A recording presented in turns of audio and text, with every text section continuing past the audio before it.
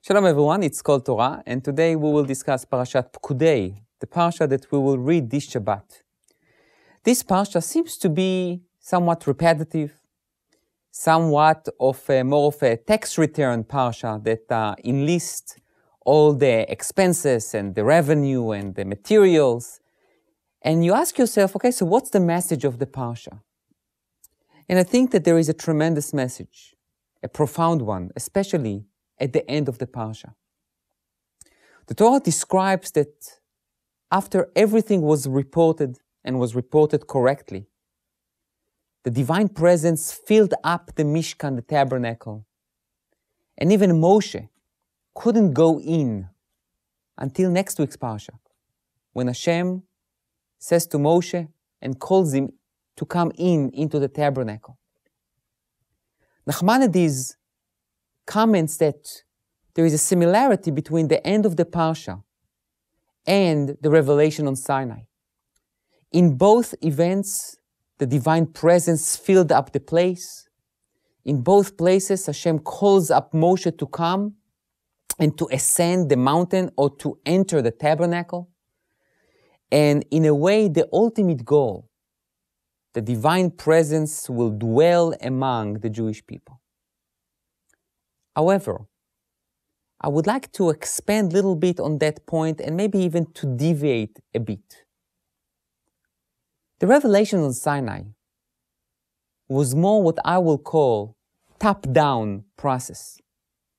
God basically designed a goal for Exodus that the Jewish people will go and worship God and receive the Torah on Mount Sinai.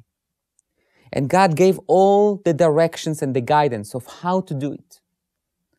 We all remember the Torah stated about the three days of preparations and you shouldn't touch the mountain and you should not come close to the mountain and only Moshe can go up.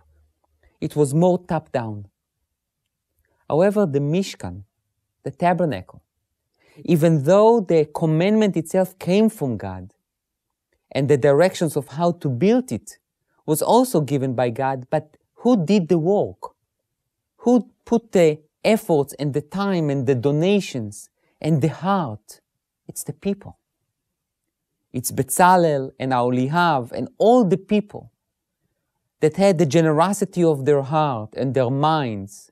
They gave their time, their resources, their talent in order to build a structure that God can dwell in in the midst of the Jewish people which means the revelation on Sinai was more top down, where the revelation through the tabernacle was more from the people themselves searching, yearning for God's presence in their lives. And I think that this is a tremendous message because in a way, when we ask ourselves, how can we come closer to Hashem? How can we become more connected, more attached to God?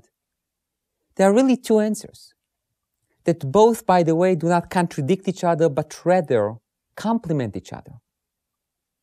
There are times that we can be connected to Hashem through attaching ourselves in a way to someone who is very spiritual, someone who is a scholar, who will help us. And sometimes we need to do it by ourselves, by our own efforts and time and intellectual abilities, emotions, feelings both apply. There's no magic formula. It's very subjective. Everyone finds his or her way to connect to Hashem.